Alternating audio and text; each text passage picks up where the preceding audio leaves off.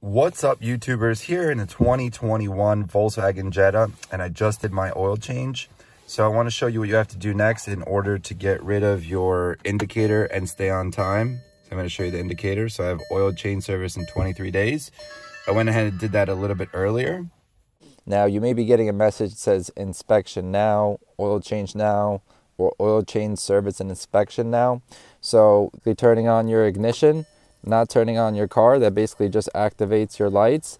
Now, first thing you're going to want to do, if you have any trip mileage, you're going to want to go ahead and just tap this once right over here, the double zero button. To tap that once to clear that out. All right, so that's the first thing you're going to want to do. What you're going to go ahead and do is turn off the ignition. Now, this has to be a quick process, so I'm going to try. All right, so in order to perform the reset, what you want to go ahead and do is press this double zero button, press and hold this double zero button.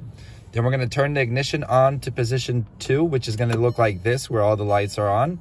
And then within a short period of time, when the message is up, we're going to go ahead and let go of this button and press it one more time and let go. This will complete the reset. So let me go ahead and do that right now. Turn the ignition off, press and hold the double zero button.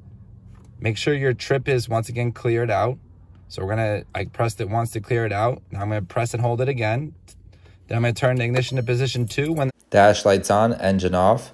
Let go and press it one more time. Now the service has been reset.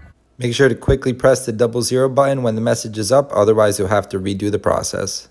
For it to take effect, it does take a few moments. So if you have the display message, it may seem like it wasn't done. What you want to go ahead and do is turn off the car.